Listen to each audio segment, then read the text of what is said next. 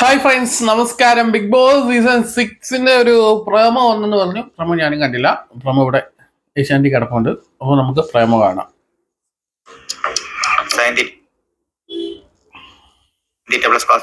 ഇത് അപ്പുക്കുട്ടൻ. ഒന്നാം റാങ്കുകളുടെ കളിത്തോഴൻ. ഈ രാത്രി ഉറക്കത്തിന് അയാളുടെ ഉറച്ച മനസ്സിനെ കീഴ്പ്പെടുത്താനാകില്ല. കാരണം നാളെ പരീക്ഷയാണ്. പഠിച്ചു കഴിഞ്ഞോ മോനെ? എട്ടാമത്തെ റിവിഷൻ നടക്കുക. ബാക്കി രാവിലെ മൂന്ന് മണിക്ക്. ഇല്ല പാൽ? ക്ഷീണം പരസ്യം പോലില്ലേ? അഡ്വർടൈസ്മെന്റ് ഒരു ബൂസ്റ്റിന്റെ ഹോളിക്സിന്റെ ഒക്കെ പരസ്യം പോലെ.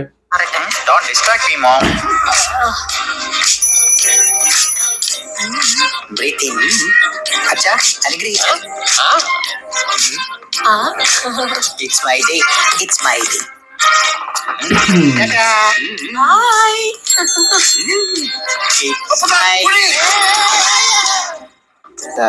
പോട്ടെ മോനെ ജീവിതം അൺപ്രഡിക്റ്റബിൾ അല്ലേ? ഇതിലും അൺപ്രഡിക്റ്റബിൾ ആയിരിക്കും. Before season six wait and see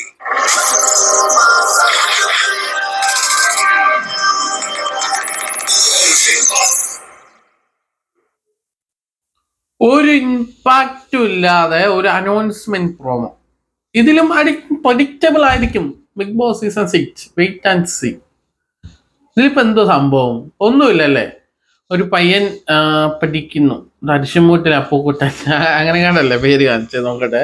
തരിശുമൂട്ടിൽ Appukuttan അങ്ങനെയാണെന്ന് തോന്നുന്നു. അതെ അതെ അരിശുമൂട്ടിൽ അപ്പുക്കുട്ടൻ.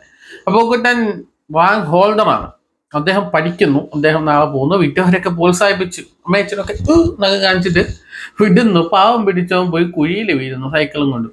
ഈ കുഴി വീണിട്ട് കാൽ ഒടിഞ്ഞ് ഇറക്കിന്റെ അടുത്ത് പോയിട്ട് അൺപ്രഡിക്റ്റബിൾ അല്ലേ മോനെ എന്ന് പറഞ്ഞിട്ട് അദ്ദേഹത്തിന്റെയൊക്കെ അഭിനയം വേറെ ലെവൽ അഭിനയിച്ച് തകർത്തിട്ട് ജസ്റ്റ് ഒരു അനൗൺസ്മെന്റ് പ്രോ ഞാനിത് ലൈവിലും പറഞ്ഞായിരുന്നു. അത് കഴിഞ്ഞിട്ട് ചെയ്ത വീഡിയോയിൽ ഞാൻ പറഞ്ഞായിരുന്നു ഞായറാഴ്ച പ്രേമോ വരും ഞായറാഴ്ച പ്രേമോ വരും ഞായറാഴ്ച പ്രേമോ വരുമെന്ന് പറഞ്ഞു. പ്രേമോ വന്നു.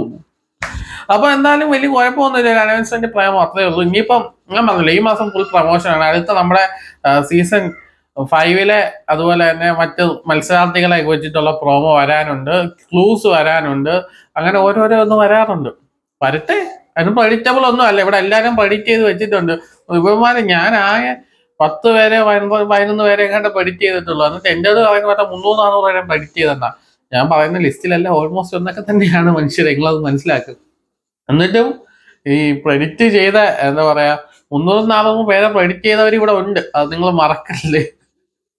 ആകെ പതിനെട്ട് പേരും പിന്നെ കാർഡും അത്രേ ഉള്ളൂ മത്സരാർത്ഥികൾ അത് നമ്മളിങ്ങനെ തിരിച്ചു മറിച്ചുമൊക്കെ അങ്ങ് പറയും. എന്താണേലും അൺപ്രഡിക്റ്റബിൾ ഇതിലും അൺപ്രഡിക്റ്റബിൾ ആവട്ടെ. എന്തായാലും തീം പറഞ്ഞിട്ടില്ല കേട്ടോ.